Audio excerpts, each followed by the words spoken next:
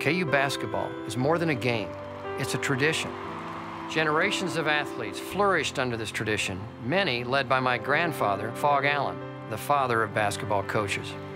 Phog coached at KU for 39 years and set the bar for excellence. My late father, Dr. Bob Allen, and I have also been proud to serve another tradition of excellence, St. Luke's Health System. I'm Dr. Mark Allen, and this is my story.